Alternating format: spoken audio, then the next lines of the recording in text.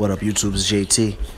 And uh, this week we got Badou Jack. It's fight week. Badou Jack versus James DeGale. I got Badou Jack unifying the titles this week, man. You know, for the simple fact that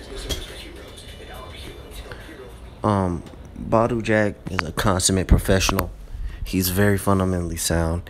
He's uh he's more consistent than James DeGale, man. James DeGale, he gets wild, he gets wide, he um lets his emotion take over sometimes.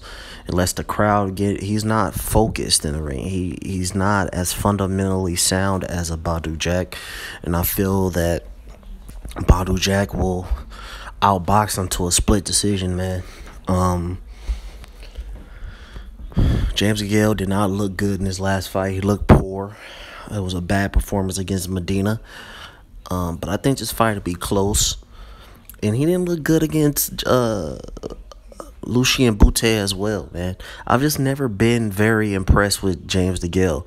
But I must say, he did defeat Andre Dirrell. I give him that. But um, I just feel that Badou Jack would do the job this week, man. Um, I think he's just more consistent. And he's going to do the job on James DeGale. The one, two down the pipe. Um, you know, James DeGale with his wide hooks. He throws a lot of punches. I feel that Badou Jack would just counter him. And uh, it should be a rather it's gonna be a good fight, man. It's probably gonna be close.